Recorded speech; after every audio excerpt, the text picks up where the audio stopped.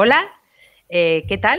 Aquí la última sesión del Deciding Fest este año que lo ha petado a saco. Em, estoy muy contenta de, moderar esta, esta, mesa que va a hablar del Internet feminista con unas aportaciones y unas visiones para mí súper interesantes y diferentes. Y, bueno, yo no, yo no, me voy a enrollar mucho, eh, por suerte. Vamos a estar escuchando a las personas que, están invitadas y que van a participar en este debate o este diálogo para, ver cómo, qué tenemos que hacer para conseguir un Internet más, más feminista. A mí me interesa mucho el tema porque yo soy de la, de la old school, por así decirlo, de Internet. O sea, yo empecé a trabajar en Internet en el 99 y toda la idea que teníamos de lo que podía llegar a ser de repente, cada año que pasa, cada año me vuelvo más pesimista y digo, Dios mío, ¿no? ¿Qué, podemos hacer? Em, se, ha hablado mucho sobre, sobre cómo, o no se ha hablado mucho, pero se está empezando a hablar mucho, desde mi punto de vista, ¿no? De cómo tiene que ser un Internet feminista y, yo creo que hoy vamos a aprender mucho de, las personas que nos van a explicar sus diferentes visiones y proyectos, etcétera, etcétera, ¿no? Yo no, lo que creo que sí es interesante eh, resaltar es que un Internet feminista solo será posible con activismo feminista, ¿no? Y, yo creo que hoy tenemos esos ejemplos aquí. Entonces, voy a presentar a, Inés Vinderia Martu y, Alejandra y a Tony y, luego empezarán Inés y, Martu a explicar su, proyecto, que es muy chulo. Van a compartir con nosotras hoy eh, esas preocupaciones y motivaciones de cómo montar una infraestructura digital feminista, que yo me hace mucha ilusión porque a ver si ah, finalmente voy a aprender de verdad, ¿no? que me pongo y tengo dudas y digo, hostia, ahora voy a darle el coñazo por Twitter a la peña, pues hoy me va a quedar clarinete de cómo hacerlo. Eh, ambas, eh, Inés y, Martu, son activistas, vienen de, movimientos de cultura hacker, eh, tienen, son las impulsoras del Hack Lab Feminista La Beca, y además también facilitan eh, formaciones y capacitaciones digitales para la protección eh, digital de mujeres y activistas de derechos humanos. Nos hemos visto en algún que otro forillo por ahí. y, bueno, y me callo y así cuando luego nos toquen las otras dos personas, pues les presento, ¿vale? Eh, Inés, Martu, que, ¿cómo explicarnos ese, ese, proyecto tan chulo y de cómo todas podemos aprender a, montar aquí un, un server feminista? Perfecto. Bueno, empezamos. Esperen que comparto publicación. Así estamos más... Eh, se ve mejor. Esperen. Tin, tin, tin. Bueno, les voy contando que esta mm, experiencia que vamos a compartir el día de hoy es eh, un fanzine que produjimos en el marco de... Eh, ahí estamos, perfecto. ¿Qué tal? Ahora sí. Eh, yo soy Inés eh, mm, y junto a Martu y otras compañeras formamos parte del espacio Hack Feminista La Beca, un espacio originalmente físico en la escalera, escalera, Caracola en Madrid y ahora en su dimensión virtual, en el que nos juntábamos para compartir y aprender horizontalmente y y discutir y construir nuestra propia infraestructura eh, tecnológica. Claro, mm, iniciamos eh, documentando nuestro proceso y finalmente luego eh, de un tiempo y gracias a conectar con otras compañeras, eh, terminó en la producción de este fanzine que hoy venimos a presentarles y, compartir con todas ustedes. El proceso de, la beca que, culminó con este fanzine en realidad eh, es fruto de la preocupación que teníamos por los niveles de violencia que sufríamos cuando habitábamos los espacios digitales. Mm, el gran problema que veíamos dentro de un sistema heteropatriarcal, evidentemente, pero en el ámbito del desarrollo tecnológico es que estábamos viviendo un tecnopatriarcado. Mm, las activistas feministas, eh, disidencias eh, de género, personas trans, estábamos eh, habitando un Internet que no estaba hecho ni por nosotras ni para nosotras. Un Internet concentrada, em, eh, extractivista, no solamente en términos de extractivismo de datos, en el que hasta nuestros cuerpos eh, son invadidos por el mercado para, para que generen datos, sino también que fortalece y reproduce el sistema extractivista de minerales eh, y metales para alimentar este consumo desbocado de dispositivos tecnológicos, que consumía energía eh, a montones, que estaba vigilada masivamente y frente a eso nos surgía la preocupación de qué, implicaba una infraestructura feminista. Si las feministas habíamos logrado politizar muchísimos ámbitos de la vida, las relaciones personales, la producción de alimentos, el espacio urbano, eh, ¿cómo hacíamos para trasladar todos esos principios eh, feministas de construcción de una sociedad feminista al ámbito del desarrollo tecnológico? Y es así que en marzo de 2018 nos juntamos una serie de colectivas en Calafou para, para empezar a debatir ¿Qué implicaba la construcción de, esta, infraestructura? Evidentemente no tenemos certezas y esto es un proceso que vamos construyendo día a día y en el que vamos ampliando, discutiendo, incorporando otras voces, pero creo que, básicamente eh, llegamos a una serie de acuerdos eh, en los que si bien no sabíamos qué implicaba y cuál era el alcance de esta infraestructura, de un sistema global que es muy complejo, teníamos algunas puntas de cómo generar espacios eh, de resistencia feminista dentro de, de este Internet machista y colonial. Mm, una de nuestras principales preocupaciones es frente a la cantidad de violencia que recibimos cuando habitamos Internet eh, y sobre todo a partir de la expansión del activismo feminista eh, que usa eh, tecnologías de la información y la comunicación, es cómo podíamos crear espacios seguros que estuvieran gestionados por nuestras propias reglas y en donde pudiéramos tranquilamente compartir, expresar, intercambiar conocimientos y saberes. Entonces yo creo que este es uno de los principales motores, ¿no? Construir espacios seguros digitales. Esta práctica que nosotros hacemos en los espacios offline, el apoyo mutuo, la autodefensa y la construcción de espacios seguros, traducirla también a los ámbitos eh, digitales. ¿Qué implica esto? Que queremos que sea una Internet distribuida. Eh, la lectura que compartimos es que la infraestructura global, así como la infraestructura de comunicaciones, de los flujos financieros, está concentrada en el norte global y nosotras queremos una Internet distribuida en la que ningún nodo tenga más poder que otro. Es verdad que esto es complicado, pero de a poco, descentralizando y logrando pequeños espacios digitales de autonomía tecnológica, podíamos lograrlo.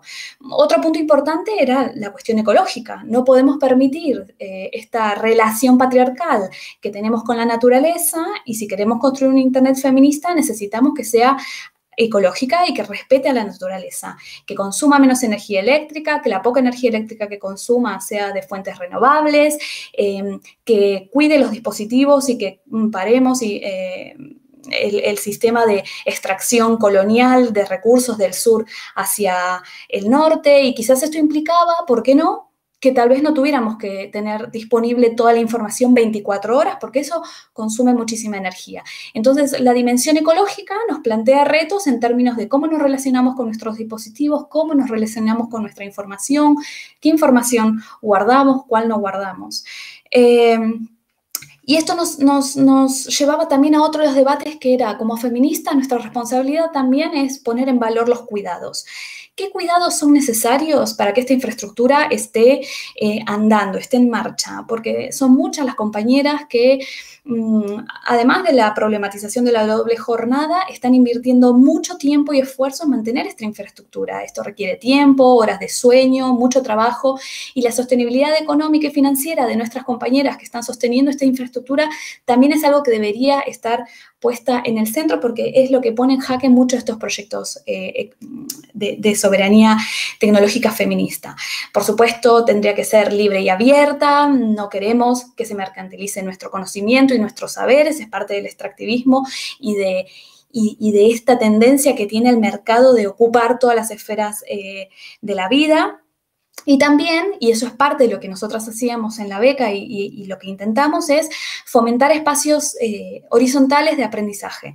Realmente no creemos que el conocimiento técnico tenga que ser una prerrogativa de los hombres, cosa que ahora es de los hombres ingenieros de saber técnico, sino que podamos mezclar saberes ancestrales con conocimiento técnico, con la crítica feminista que podemos hacer ese conocimiento que es... Eh, mm, muy masculino y así poder empezar a desarrollar herramientas que sirvan para nuestros propios propósitos en los que nos sintamos seguras y que nos permitan conectarnos y trabajar en red juntas para una transformación global de la sociedad. Evidentemente, eh, el trabajo por una infraestructura eh, y la soberanía feminista eh, es, parte de un proyecto global de transformación total de la sociedad con miras a, acabar con el cis heteropatriarcado. De a poco lo haremos, web a web, servidora a servidora, de manera ecológica y, y de a poquito.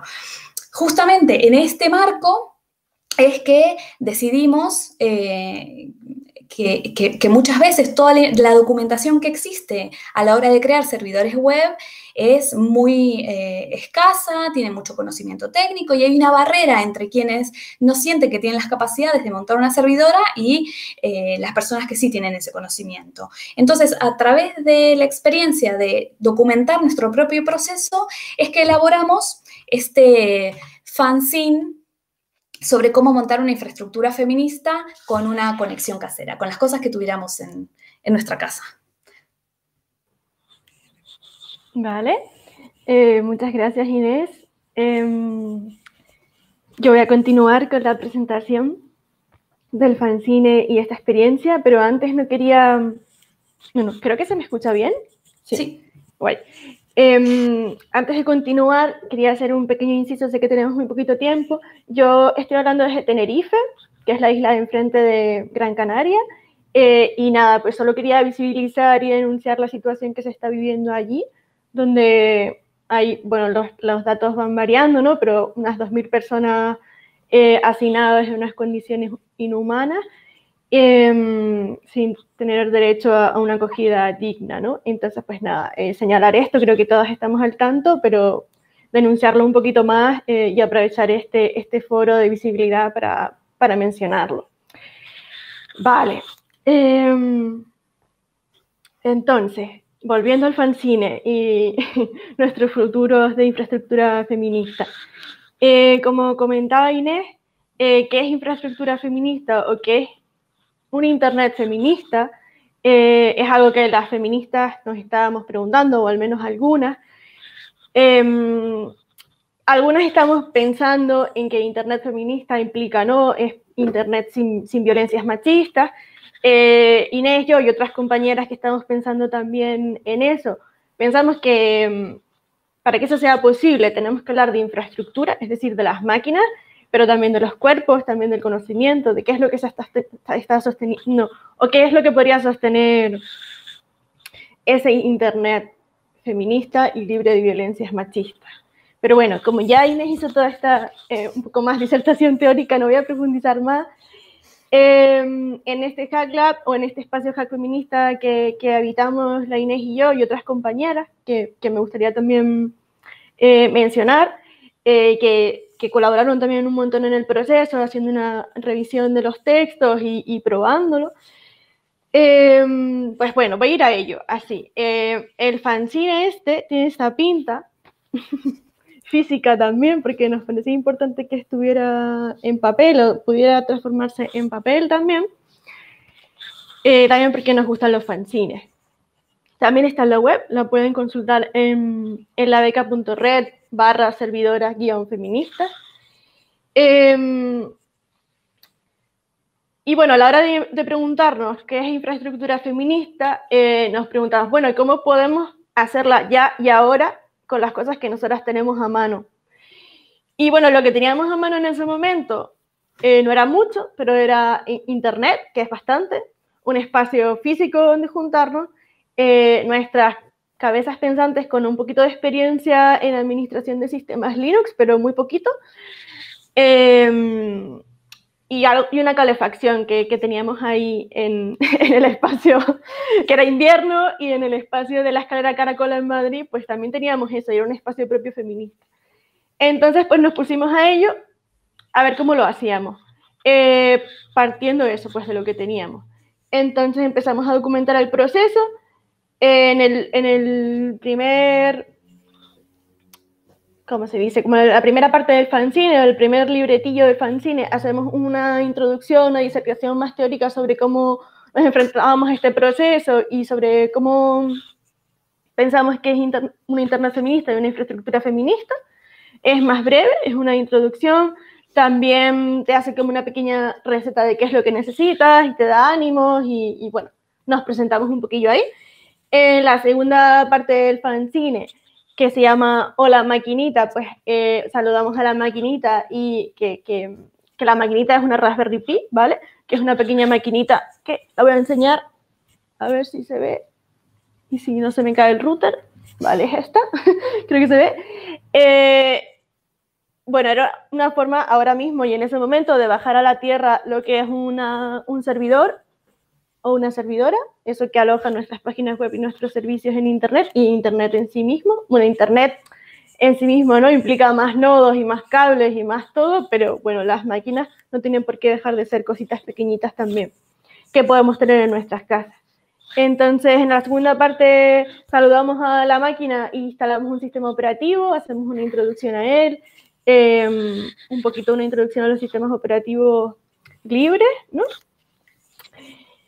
Eh, en la tercera parte eh, hablamos de cómo transformar una máquina en, un, en un servidor en una servidora, en una máquina que sirve servicios. En este caso lo que va a servir es una página web. Entonces intentamos hacer todo el rato como explicaciones como muy accesibles, como bajando el conocimiento técnico lo más bajo posible para que sea accesible por todas las personas, ¿no? Lo intentamos, no sé si lo conseguimos siempre, ¿de acuerdo? Pero bueno, en un fanzine con estas páginas, eh, creo que es más de lo que nosotras encontramos a la hora de hacer el proceso. Es decir, tratamos de escribir la documentación que a nosotras nos hubiera gustado leer en su momento. Vale. Em, en esta tercera parte también explicamos cómo hacer accesible la máquina desde Internet, o sea, cómo meter nuestra máquina en Internet y hacerla parte de nuestra infraestructura de, Internet, ¿no? Y pensar que nosotras en nuestra casa también podemos estar haciendo Internet, ¿no? Y esa parte fue muy mágica, ¿no? Como, como wow, tengo Internet en, en, nuestro espacio, ¿no? Y ahora mismo, por, ejemplo, es, es, mi casa, ¿no? Dejamos el espacio físico de Madrid en, la escalera Caracola y ahora este, esta máquina está en mi casa.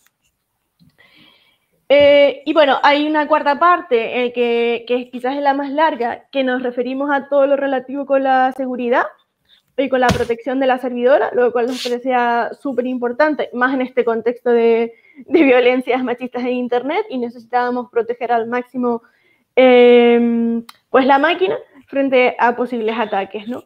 Intentamos eh, bueno, pues dar unos mínimos de protección, advertir sobre, bueno, pues ciertas situaciones que pueden implicar algunos riesgos y cómo, y cómo protegerse, ¿no? Em, para ello contamos con algunas compañeras que nos hicieron una revisión específicamente de este texto, que nos parecía casi la parte más importante para que sí, porque si nos equivocábamos en las otras partes, pues igual la servidora no funciona, pero si nos equivocamos en esta parte, podíamos estar exponiendo a las compañeras que estaban siguiendo la guía, ¿no? Entonces nos vamos un poquito ahí. Y la última parte, eh, que es esta, ¿vale? Eh, habla de cómo generar, de cómo generar em, una página web em, con un generador de sitios estáticos. ¿Qué significa?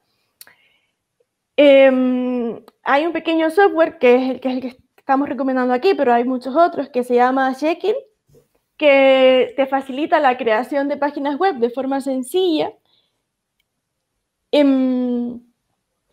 sin necesidad de tener bases de datos, de tener un gestor de contenido, tipo WordPress o Drupal, que necesitan más recursos para sostenerse en, la máquina. Esta máquina eh, que, tenemos eh, tiene muy poquitos recursos en términos de memoria RAM y CPU, porque la web que está alojando eh, consume muy poquito, es puro HTML y CSS. Entonces, los generadores de sitios estáticos, para entendernos, solo nos facilitan la creación del HTML, de los HTML y de los CSS y, te los dan para que tú los subas directamente sin que te importe, te puede importar, pero sin tener que profundizar qué son esos archivos, sin tener que tener muchos conocimientos. Em, y finalmente, a ver.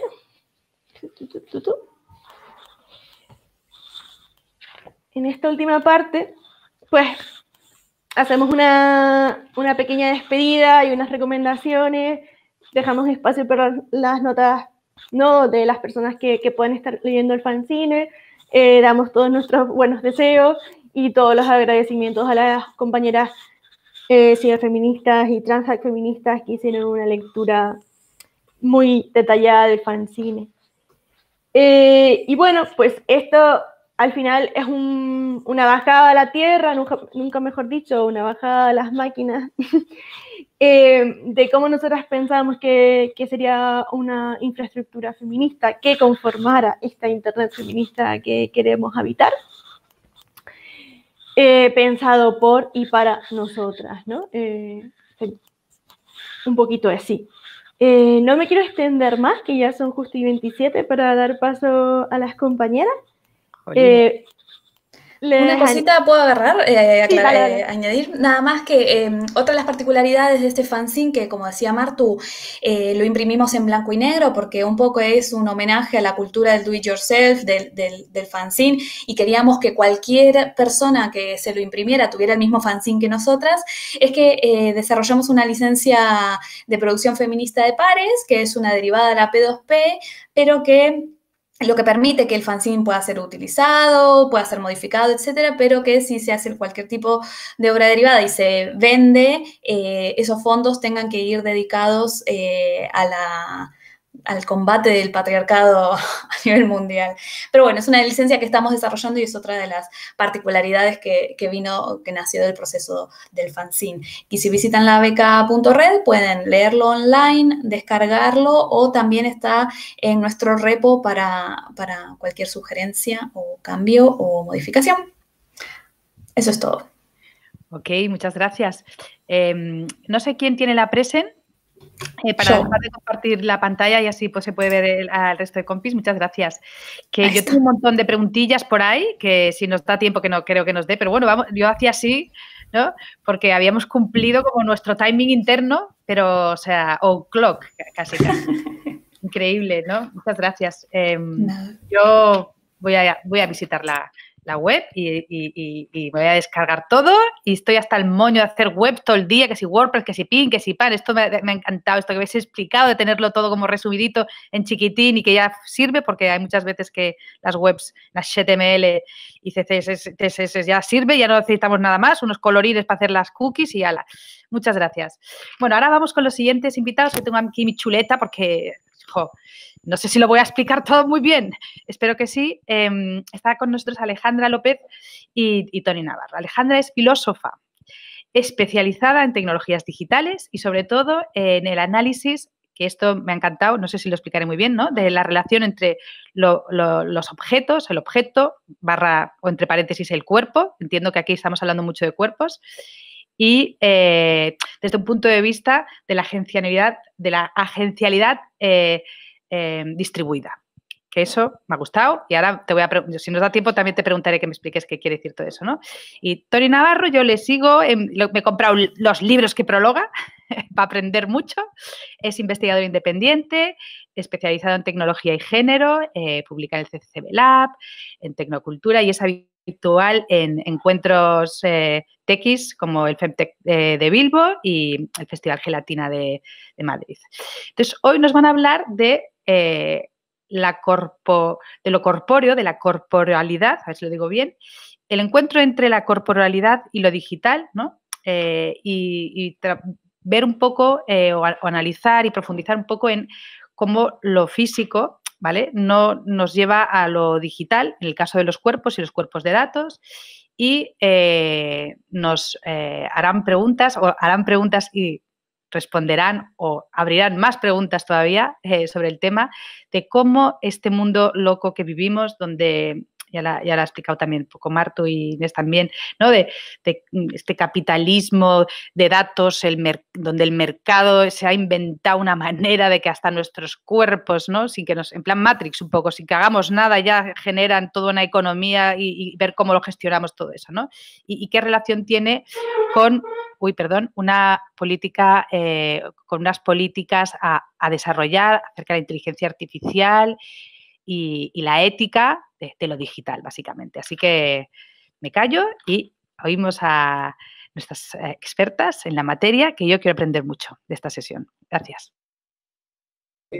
Sí, em, perdón si se oye porque un vecino está empezando a un taladro justo ahora, en el momento más indicado. Eh, bueno, eh, no sé si se escucha bien, pero bueno, igual. ¿Se oye bien? Sí, vale. Vale.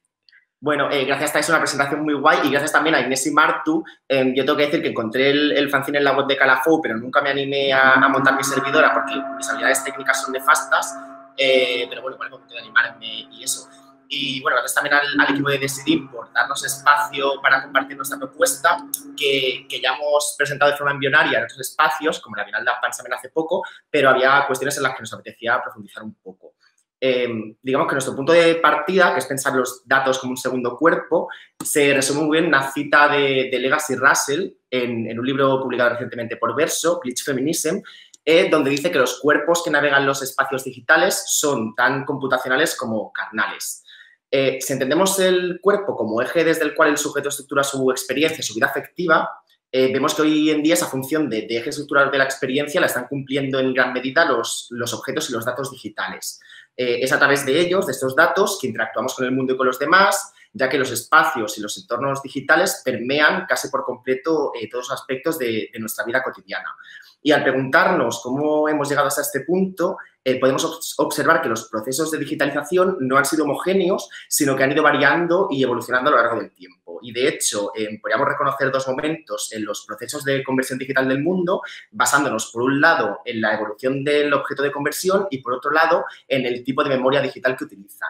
Entonces, de cara a diferenciarlos, eh, lo que proponemos es señalarlos como un primer momento de digitalización y un segundo momento de eh, datificación. Eh, la digitalización, este primer momento, tuvo lugar durante la primera etapa de generalización y de expansión global de esas tecnologías que podríamos situar eh, en los años 90 hasta principios del nuevo milenio. Y durante esta etapa, el, objeto de conversión digital fueron mayormente los bienes sociales y culturales, es decir, lo que podemos designar como el cuerpo social. Em, y los modos de almacenamiento de, esta etapa, de la digitalización, eran sobre todo la memoria interna de los dispositivos de, los, de las usuarias o memorias externas eh, que se acoplaban como los CDs, DVDs, disquetes, etcétera, y también en el caso de los servicios online, los servidores privados de cada empresa. Eh, sin embargo, bueno, en la etapa actual que denominamos como datificación, eh, lo que sucede es que producimos cantidades masivas de datos hasta el punto que hemos llegado a un extremo paradójico en el que somos capaces de más datos, más datos y somos capaces de almacenar, de almacenar. Pero más allá de este crecimiento exponencial, eh, con la llegada de las redes sociales, de los ordenadores personales, los smartphones, las prácticas del quantified self, etcétera, el objeto de conversión digital ha cambiado y ha pasado a ser el cuerpo individual sus cuerpos, sus movimientos, sus gestos, eh, sus relaciones, sus intercambios con otros cuerpos son continuamente abstraídos y cuantificados por nuestros dispositivos y la forma de almacenamiento propia de esta nueva etapa es eh, la de la nube, lo cual ha producido eh, también, entre otras cosas, una centralización, privatización y verticalización del mundo digital. Eh, claro, bajo el modelo de la nube, nuestros dispositivos actúan eh, prácticamente como una simple interfaz, ya que exteriorizan el almacenamiento de los datos y el poder de cálculo a vastas infraestructuras remotas que pertenecen al puñado de empresas que constituyen el, oligopolio tecnológico como Google, Facebook, Amazon, etc. Y bajo estas circunstancias, eh, nos parece importante tener en cuenta que la notificación no solo implica que existe simplemente más información sobre nosotras mismas, sino también que estamos psíquica y socialmente entrelazadas con los datos. Entonces, para hacer frente a los problemas que acarrea la notificación, eh, nos parece útil empezar a describir y percibir eh, este desdoblamiento técnico como un cambio y una ampliación del espectro de nuestra realidad corporal. Em, en ese sentido, eh, podríamos afirmar que nuestra corporealidad hoy en día comprende y articula tanto elementos somáticos, eh, biológicos o carnales como también digitales. Es decir, no solo interactuamos con el mundo em, a través de un cuerpo de carne y hueso, sino que también lo hacemos desde un cuerpo de datos o un cuerpo digital que se hace, de hecho, eh, cada vez más grande y cada vez más relevante en nuestra experiencia cotidiana. Pero a pesar de ser algo que es extremadamente cercano y que constituye, modifica y moldea nuestra realidad psíquica y social, eh, estamos completamente desposeídas de este cuerpo debido a que el mismo reside en espacios privatizados, es decir, en esas vastas infraestructuras técnicas que denominamos eh, la nube. Em, esta desposesión, obviamente, no es algo nuevo para todas aquellas eh, que históricamente se han visto privadas de agencia sobre el propio cuerpo, como las personas trans o como las mujeres. Y, de hecho, ha sido uno de los principales frentes de la lucha feminista, especialmente a partir del movimiento por la salud de las mujeres de los años 70, que estuvo caracterizado por un intento de restaurar la autonomía corporal de personas que se sentían desempoderadas con el establishment médico Em, y se veían excluidas del proceso de toma de decisiones en lo que concernía al cuidado de su salud. Eh, las mujeres de este movimiento intentaron alfabetizarse y experimentar con tecnología médica para rediseñar o refuncionalizar las herramientas que se utilizaban en pos de su salud, pero desde una actitud paternalista que sistemáticamente las excluía como sujetos activos. Y definitivamente su, su, objetivo era contribuir a la soberanía reproductiva haciendo que las usuarias fueran partícipes en la atención de su propia salud. Entonces, la pregunta que nos planteamos y sobre la cual hemos articulado un poco esta propuesta es qué puede aportar este activismo, el del movimiento por la salud de las mujeres, a los debates sobre la soberanía digital. Claro, en un primer momento eh, sí que identificamos ciertos paralelismos entre la situación de entonces y la de ahora. Eh, así como en los años 70, la relación entre quienes estaban a cargo de brindar atención médica y aquellas personas que la recibían era profundamente desigual y estaba marcada por la exclusión en la toma de decisiones, Em, nos parece que hoy ocurre lo mismo entre quienes están a cargo de dar soluciones técnicas y aquellas a quienes va dirigida. Pero más allá de este paralelismo inicial, eh, lo que proponemos es llevar, a, llevar la idea de cuerpo de datos eh, más lejos y preguntarnos si este cuerpo de datos tiene capacidad reproductiva. Y, la respuesta a esta pregunta, eh, de algún modo, podría ser que, sí que la tiene, puesto que el cuerpo de datos permite la generación y el nacimiento de inteligencias artificiales. A grandes rasgos, em, la inteligencia artificial puede entenderse como la capacidad de un sistema para interpretar correctamente datos externos, eh, para aprender de dichos datos y emplear esos conocimientos para lograr tareas y metas concretas a través de la adaptación flexible. Em, por tanto, en, el desarrollo de la inteligencia artificial se desarrolla, por un lado, una dimensión cualitativa que tiene que ver con la programación y el diseño de algoritmos y, por otro lado, eh, también una dimensión cuantitativa que tiene que ver con el conjunto de datos con el cual se entrena. Em, claro, estas dos dimensiones se retroalimentan en el sentido de que mientras más datos posea la inteligencia artificial eh, para entrenarse, más precisas serán sus generalizaciones y más complejos y sofisticados serán los patrones que pueda identificar. En esa extracción de patrones, en el modelo de Machine Learning, no se produce de arriba abajo como, un conjunto de reglas para el manejo de datos, sino que se produce de abajo arriba. Es decir, eh, los algoritmos de aprendizaje son algoritmos que hacen otros algoritmos, eh, computadoras que escriben sus propios programas y en ese sentido podría entenderse en cierto modo como el inverso de la programación. Em, en ese proceso por el cual los algoritmos dan lugar a nuevos algoritmos o las computadoras crean sus propios programas, los datos son fundamentales y es en ese sentido que concebimos que nuestro cuerpo de datos tiene cierta capacidad reproductiva. Vale, pues em, llegadas a este punto en el que ha dejado Tony la presentación, nos gustaría hacer como una serie de aclaraciones y precisiones que nos parecen importantes en relación a esta metáfora que estamos proponiendo, digamos, estas imágenes que estamos trabajando de la reproducción y de los datos y los cuerpos, y es que mm, al afirmar esta, esta capacidad reproductiva de nuestros cuerpos de datos, em, no queremos ignorar el hecho de que la materialidad de los datos es muy, muy distinta a la de los cuerpos biológicos, ni tampoco ignorar el hecho de que la lucha por la justicia reproductiva ha tenido históricamente una dimensión racial, y, no pretendemos obviar ni equiparar en absoluto el sufrimiento, que, el sufrimiento de aquellas personas que han sufrido, por ejemplo, poblaciones que han sufrido esterilizaciones forzadas, con eh, la usurpación que se puede hacer sobre la capacidad reproductiva de estos eh, cuerpos de datos. Con esta metáfora simplemente nos proponemos eh, ofrecer una imagen que pueda resultar útil de cara a pensarlos como una corporalidad eh, expandida que está directamente relacionada con el desarrollo de las inteligencias artificiales. Eh, puesto que evidentemente no es lo mismo reclamar derechos sobre algo que simplemente como que deriva de nosotras, eh, que es algo que sugiere más la idea de, datos personales, que reclamar derechos sobre algo que nos constituye, que es lo que intentamos hacer a través de esta noción de, de cuerpo de datos. ¿no? Eh, así que salvando estas distancias, que queríamos ponerlo sobre la mesa esto, eh, encontramos sin embargo que hay como un, amplio abanico de metáforas eh, útiles, que es un abanico muy amplio, es muy fértil, para trasladar términos que son propios de, de las luchas feministas hacia el ámbito de lo digital. Y en esta línea, por ejemplo, podemos encontrar también ideas como las del consentimiento digital, que han sido promovidas por iniciativas como el Feminist Data Manifest Now, y que entiende este consentimiento digital no como un simple clic, que es lo que solemos hacer. Siempre que nos bajamos, nos descargamos una aplicación, eh, sino como, como una acción que debería ser libre, reversible, informada, entusiasta y específica. Ah, es claro aquí el paralelismo ¿no? de pensar este consentimiento digital también teniendo en mente lo que implica un consentimiento en el ámbito de la, de la sexualidad y, qué fertilidad tiene generar ese paralelismo. ¿no?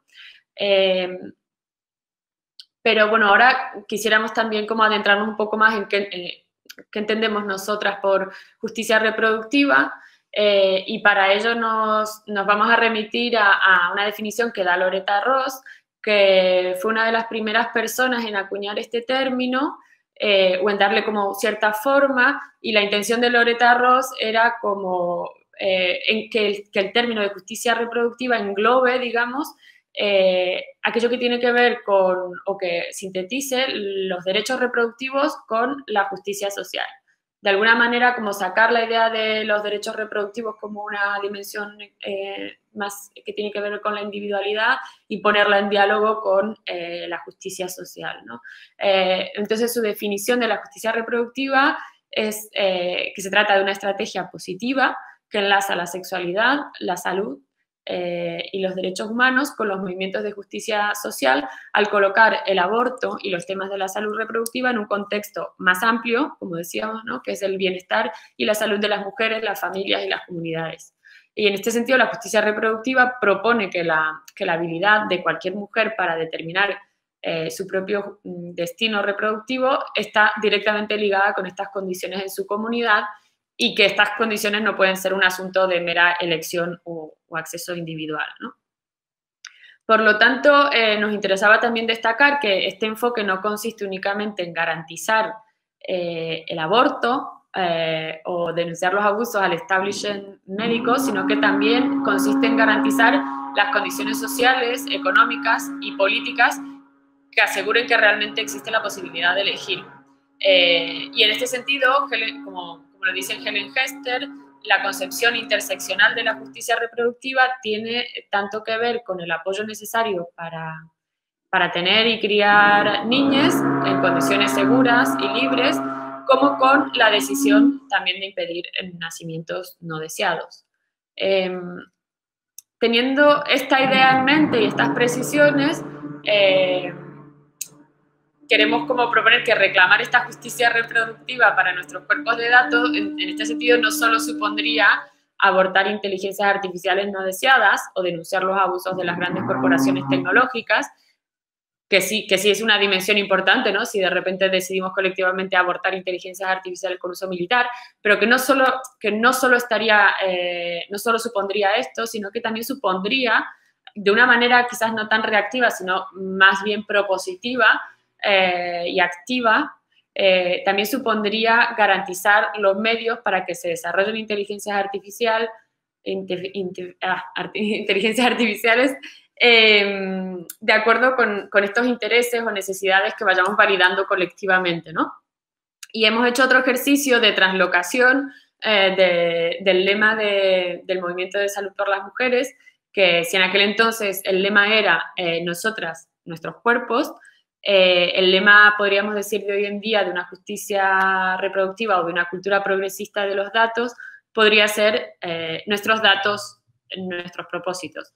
Eh, y, quizás aquí también hacer algo que comentábamos, una pequeña salvación, que es como que hemos puesto nuestros, nuestros datos, nuestros propósitos y no nuestros datos, nuestras propiedades, aunque se podría discutir eso, ¿no? En qué medida, qué tipo de propiedad, pero no llevarlo a, la idea de una propiedad individual, sino entender cómo, cómo están enlazados los datos con este devenir sociotécnico, ¿no?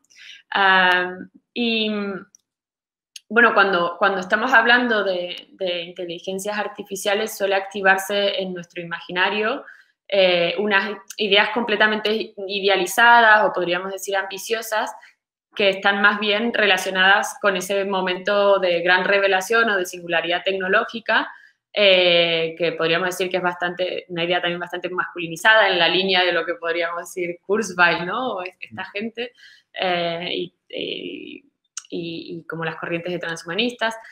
Pero eh, lo cierto es que las inteligencias artificiales son algo mucho más prosaico, que ya forma parte de nuestra cotidianidad eh, y que, está implantada en diversos usos. ¿no? el uso de estas inteligencias artificiales en la actualidad eh, recorren diferentes escalas de nuestra realidad, que van desde los usos personales y domésticos, de las asistentes digitales, como pueden ser Siri, Alexa, Cortana, eh, como pueden ser también los traductores en línea, los servicios de atención al cliente mediante chatbots, los algoritmos de recomendaciones que utilizan estos gigantes tecnológicos para ofrecer sus servicios de, publicidad dirigida, a los usos, por ejemplo, que hacen de la inteligencia artificial las smart cities, como puede ser el caso de semáforos inteligentes que son capaces de, a través de machine learning, eh, captar datos de tráfico y entonces mejorar el servicio que están dando, o el caso de las ambulancias en China que están conectadas a una plataforma de inteligencia artificial que las ayuda a encontrar los caminos que, que son más rápidos o que tienen menos obstáculos, ¿no? Em, y en este sentido, la inteligencia artificial eh, ya se ha convertido en un nuevo agente, eh, que quizás a esto nos referíamos, no sé, por la, pregunta que hizo Thais al presentarme, ¿no? Esta agencialidad distribuida, va por aquí la cosa, pero luego si quieres lo, seguimos. Pero como que la inteligencia artificial ya podemos decir que se ha construido como un nuevo agente que se ha sumado a este tejido psíquico y social y eh, resulta sumamente interesante también destacar que muchas de estas aplicaciones que están eh, de las inteligencias artificiales están relacionadas con algún tipo o algún modo de reproducción social, es decir, con tareas que sirven para producir y reproducir eh, los modos en los que nos relacionamos en sociedad y esos modos de relacionarnos en sociedad pueden ir desde cómo constituyen los modos de comunicarnos, eh, de transportarnos, de producir jerarquías en la información, de producir eh, herramientas de administración de esa información, etcétera, ¿no? Son diversos. Eh, y de hecho, estas inteligencias artificiales están tan relacionadas eh, con esta dimensión de reproducción social que uno de los aspectos más controvertidos tiene que ver justamente con el peligro de que las normatividades algorítmicas reproduzcan y en sentido automaticen eh, actitudes racistas y discriminatorias produciendo estos sesgos, ¿no? en este sentido, la, capacidad reproductiva de nuestros datos contiene, podríamos decir que contiene estas dos caras de una misma moneda. Por un lado, se refiere al potencial que tienen nuestros datos eh, de entrenar algoritmos y de dar lugar a nuevos algoritmos más inteligentes, y por otro lado, y como consecuencia de esto, eh, se refiere a estas funciones de reproducción social que muchas veces llevan a cabo las aplicaciones concretas de estos algoritmos inteligentes o de estas inteligencias artificiales, como que queramos llamarlo. Em, entonces, eh, por nuestra parte, creemos que, es, eh, a pesar de ser sin duda extremadamente importante el problema de la privacidad en la era digital, eh, la autonomía de nuestros cuerpos de datos no solo apunta a preservar nuestra intimidad o nuestra propiedad individual sobre los datos, sino a generar herramientas de gestión colectiva que sean más democráticas, capaces de dirigir el potencial que tienen nuestros datos para incidir eh, en la proxémica y en la morfogénesis social, ¿no? Como pocas palabras en ese devenir social que ya está imbricado de manera tan íntima con, con, estas tecnologías. Por lo tanto, el marco este que proponemos aquí, que es la justicia reproductiva de nuestros cuerpos de datos, como marco para, abordar temas de soberanía digital, eh, digamos que apunta a esta necesidad de imaginar y construir condiciones y garantías de autonomía que nos permitan decidir sobre, tanto sobre nuestro presente como sobre nuestro futuro sociotécnico de, de manera más horizontal. Eh, y quisiéramos aclarar lo que, un poco lo que hemos dicho antes, que no se trata de, producir eh, una correlación directa entre estos términos, pero sí de inspirarnos de estas luchas y de, ver qué podemos rescatar que sea útil a, las luchas de hoy en día, ¿no? que, tengan que ver con esta ah, genealogía del feminismo y que puede aportarnos también para pensar este Internet feminista. Entonces, eh, como que nos gusta ver este ejercicio que hemos hecho más bien como un ejercicio de poética tecnopolítica, con, la intención de, provocar imágenes o figuras que tengan la fuerza suficiente para expandirse con facilidad en nuestro imaginario y de manera que seamos capaces de, activar la implicación, la voluntad y la acción colectiva y orientarla a estos eh, a proyectos de, empoderamiento tecnomateriales. ¿no? Em, nos resultaba interesante esta idea de la reproducción de los cuerpos de datos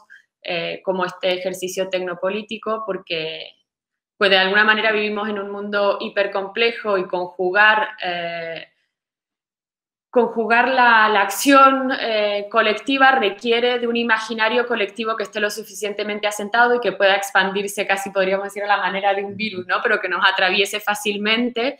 Eh, por lo tanto, como que apostamos por esta producción de, metáforas tecnopolíticas ah, que quizás podemos verlas como simplificaciones, pero no como empobrecimientos, eh, sino que simplificaciones que sirvan para, generar políticas más transversales y traducir estas complejidades, ¿no?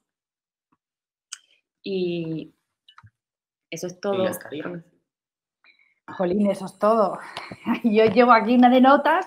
A ver, me ha encantado, me ha encantado eh, cómo habéis resumido, o sea, eh, la ponencia o, la charla que habéis dado, ¿no? En realidad es, habéis sido unos generadores eh, de imágenes eh, complejas. Para mí tiene como, capas, ¿no? O sea, como, diferentes capas de, ¿no? de, entendimiento acerca de cómo, qué está componiendo esa imagen, ¿no? Compleja, porque se, nota que habéis estudiado filosofía.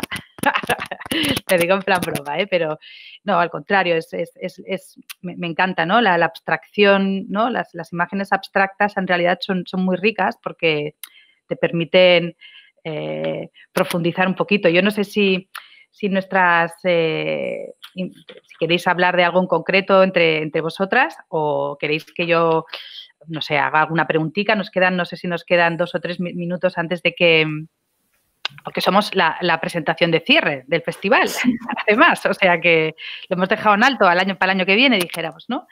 Pero a mí me ha gustado mucho estas dos, eh, dijéramos, eh, herramientas o estas dos maneras de enfocar la soberanía tecnológica eh, con perspectiva feminista, una por, lo que puede llegar a implicar el tener autonomía eh, de cacharro en tu casa, eso, ¿no? Con esa, con la, la, beca la beca Berry. La beca Berry, que parece que estés en Euskadi, ¿no? La beca Berry, ¿qué pasa?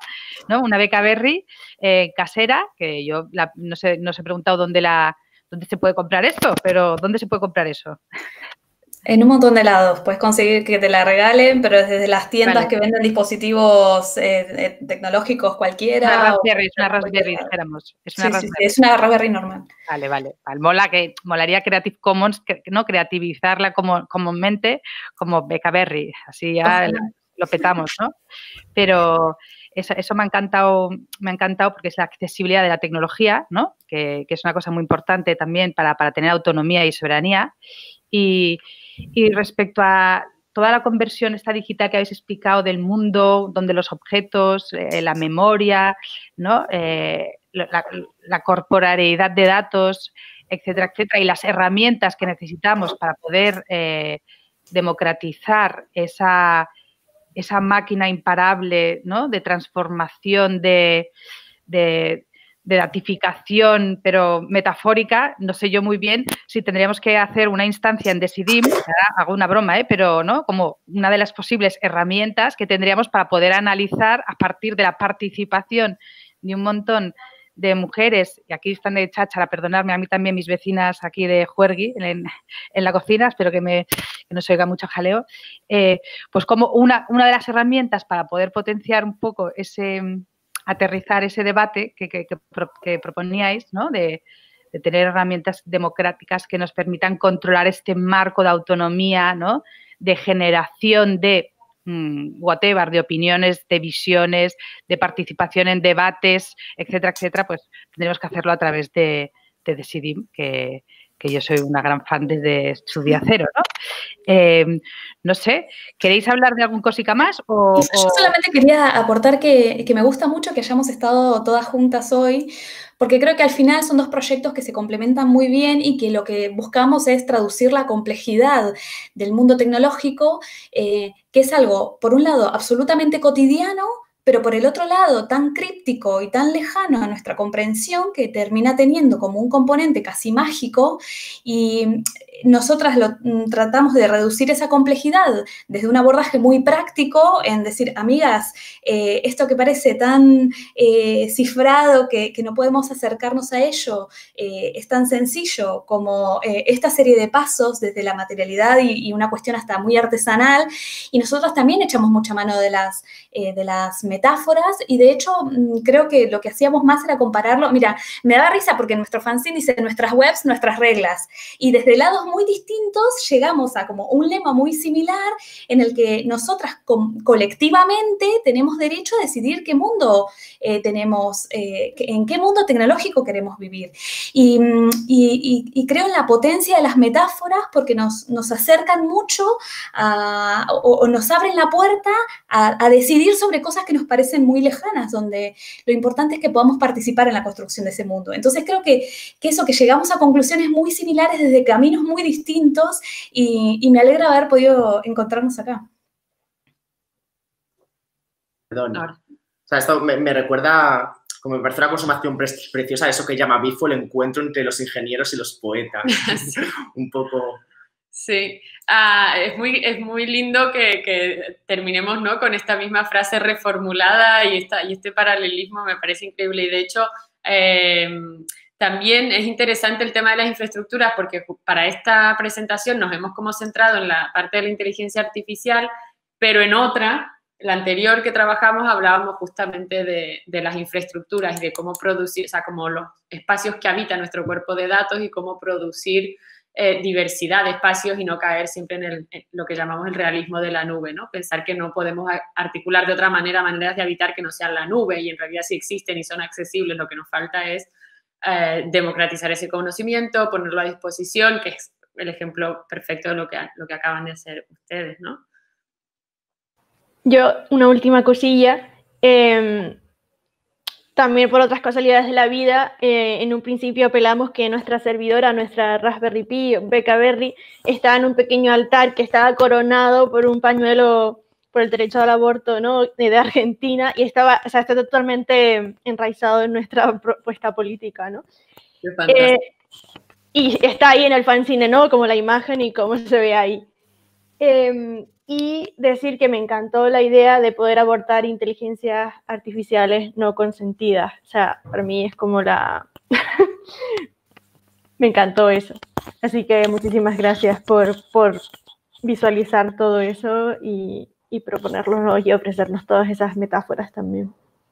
Sí, sí, muchas gracias. Sí, muchas gracias a, todas.